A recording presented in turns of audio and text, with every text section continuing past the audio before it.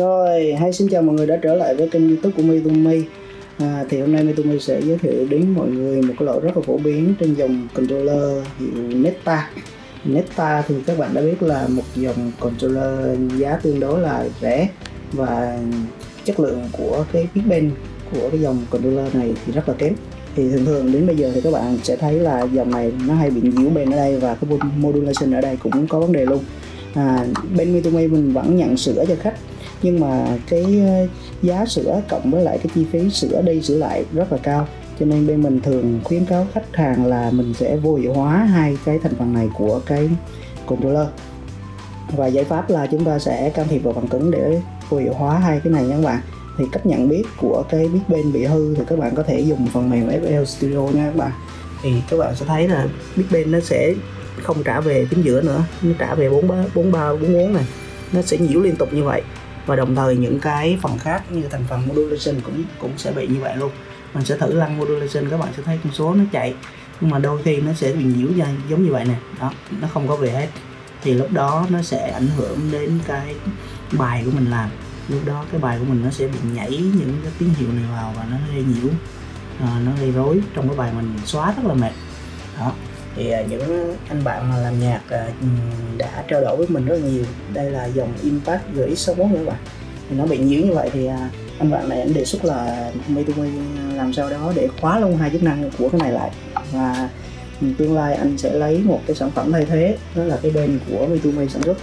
Đó, cái bên này thì nó có tác dụng là nó cho chúng ta control cái big band ở đây này, hoặc lên xuống này.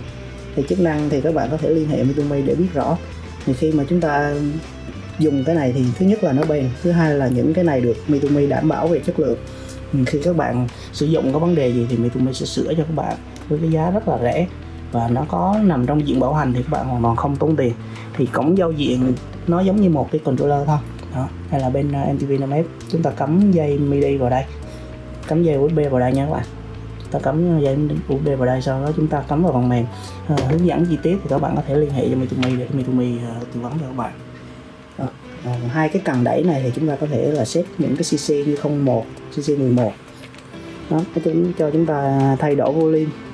Và đặc biệt là nó không có bị nhiễu giống như những cái dòng controller mà các bạn hay gặp. Đó thì khi chúng ta vô hiệu hóa vậy chúng ta vô hiệu hóa cái bên của Netta và modulation của Netta thì chúng ta nên mua cái dòng sản phẩm này để chúng ta thay thế. Thứ nhất là dòng này anh em đã xài và kiểm chứng là rất là bền. Và Metumi cũng là chuyên về sản xuất bên nên các bạn cũng biết rồi. Thì thường thường là chúng ta sẽ dùng những sản phẩm rời chuyên dụng bên ngoài thì sẽ bền cho cái công việc của chúng ta hơn. Rồi như các bạn đang thấy là Big Ben của cái controller nó tự nhảy này các bạn. À, mình không can thiệp nha. Mình đang ngồi đây chỉ có một mình mình thôi nè. Cái đàn ở bên kia này à, cái Big Ben này nè nó sẽ tự động nó nhảy luôn. À, nó đẩy là mình, mình sẽ thấy nó, nó nhảy giật giật giật giật giật giật. Mà như thế là khi chúng ta đang đánh phím á chúng ta rung rung tác động nhẹ trong phím này. Đó khi chúng ta tác động nhẹ trong phím là cái bên nó sẽ bị tác động luôn và nó nhảy. Nó sẽ can thiệp tự động vô trong đó. Thì lúc đó cái bài của chúng ta nó bị ờ, méo tiếng nó bị sai về cái tông. Thì nó rất là phiền phức.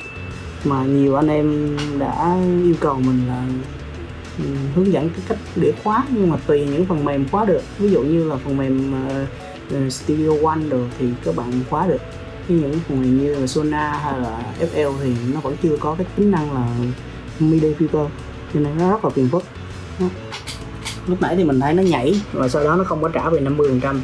Đó. Đó bây giờ nó lại xuống ờ, uh, 46 phần trăm này các bạn. Đó.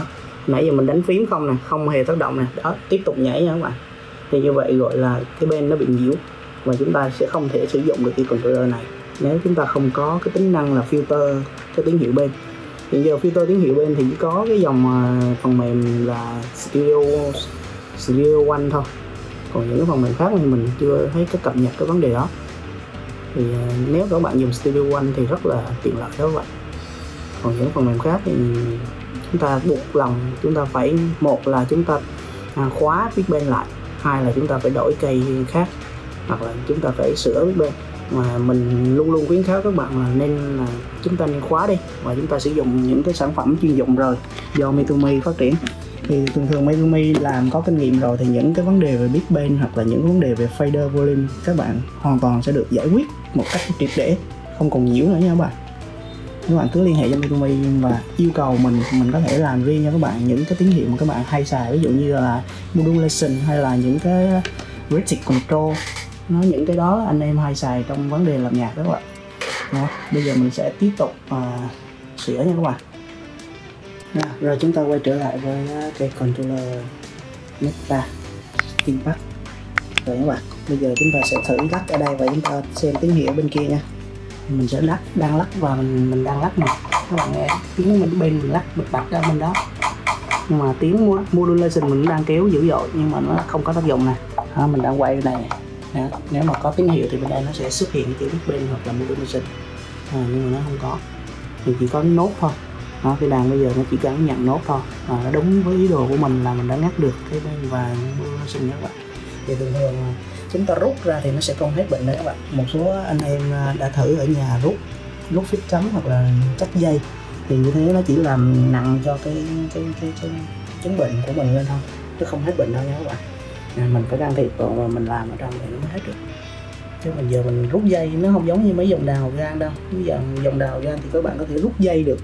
Các bạn rút dây cắm thì nó sẽ hết bệnh nhưng mà cái này không có rút dây được các bạn. Một số anh em rút dây thử rồi và cuối cùng là nặng hơn nó bị nhiễu dữ dội hơn nữa. Cho nên chúng ta không có rút dây. Mình cứ đem qua Mitomi mình làm cho. Giá cũng không có nhiêu đâu. Nói chung là nó, nó rẻ hơn rất nhiều so với mua một cây đàn mới. Hoặc là rẻ hơn rất nhiều so với lại các bạn phải đi thay hai cái này một lúc. Đó. Nên các bạn có nhu cầu cứ chạy vội mình mình làm cho rồi sau đó chúng ta có thể mua ở bên. Nếu như mình giới thiệu lúc nãy thì những cái bên như vậy thì các bạn cứ alo cho Mayumi và đặt hàng riêng thì ờ, tính năng ở trên đây thì có rất nhiều anh em xài như là những anh em user nổi tiếng cũng đang xài đồ của mình rất là nhiều nữa các bạn. Các bạn có thể tự tự tìm hiểu tự tìm hiểu hỏi anh em những người nào đang xài để biết thêm tính năng. Rất nhiều tính năng trong đó. Mình ờ, sẽ giới thiệu khi mà các bạn hỏi mình cụ thể công việc của các bạn như thế nào, mình sẽ đáp ứng cho các bạn như vậy. Rồi video của mình kết thúc ở đây nha bây giờ là dòng đàn impact gửi sang món các bạn mình đã sửa rất nhiều dòng đàn neta rồi, cho nên mình rất có kinh nghiệm sửa những cái dòng big band bị hư kiểu này nha các bạn và cảm ơn mọi người đã xem video nha chúc mọi người à, làm việc hiệu quả nha Hãy nhấn like nếu các bạn thấy video clip này có ý nghĩa và đừng quên nhấn subscribe để biết thêm nhiều thông tin hữu ích về cách sử dụng các dòng đàn organ cùng những chia sẻ thú vị khác xoay quanh công nghệ đàn điện tử. Mitumi Media xin chào và hẹn gặp lại các bạn trong các video clip tiếp theo. Goodbye.